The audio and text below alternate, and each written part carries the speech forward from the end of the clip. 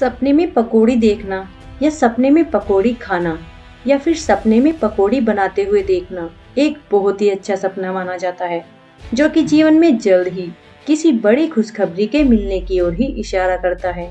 और अगर कोई सपने में खुद को पकोड़ी खाते हुए देखता है तो यह सपना इसी बात की ओर इशारा करता है कि जल्द ही आपकी कोई बड़ी मनोकामना पूरी होने वाली है।